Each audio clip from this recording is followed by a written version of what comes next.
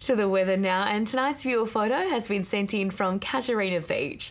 It was partly cloudy over the Lassiter today, a few showers about the Tiwi Islands, but mostly sunny elsewhere across the territory.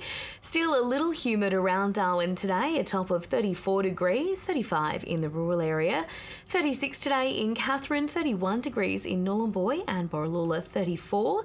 Abnormally warm in the centre today, Alice Springs reached 33 degrees, 32 in Tennant Creek.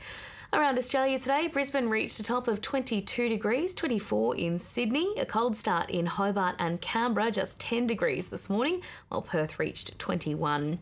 On the satellite, areas of cloud are persisting along the east coast, associated with a low over Queensland and New South Wales. A trough extends from WA into central Australia, while a cold front moves across the rest of the, the south of the country. Interstate tomorrow, staying wet in southeast Queensland and along much of the east coast coast, 26 degrees in Sydney, rain and 20 in Adelaide, cloudy and 19 in Perth. Rain and thunderstorms to our north, 29 degrees in Dili and Port Moresby, 34 in Bali. Around the territory tomorrow, still warm in central Australia, Alice Springs heading for 27 degrees and 33 in Tennant Creek. Further north, mostly sunny in Katherine, reaching 36 degrees, 31 in Nhulunbuy and 34 the top in Borroloola. And in the west, much of the same, 35 degrees in Batchelor tomorrow, sunny and 33 in Darwin. The evening high tide tomorrow will be just before 5:30, seas off Darwin to less than a metre.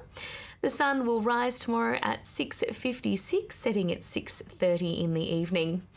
And looking ahead, a sunny week in Darwin, cooler mornings, but temperatures hovering around the mid 30s, while in Alice Springs, a few clouds around, but temperatures dipping from mid next week. And that's ABC News for this Saturday night. Thanks for your company. Have a good night.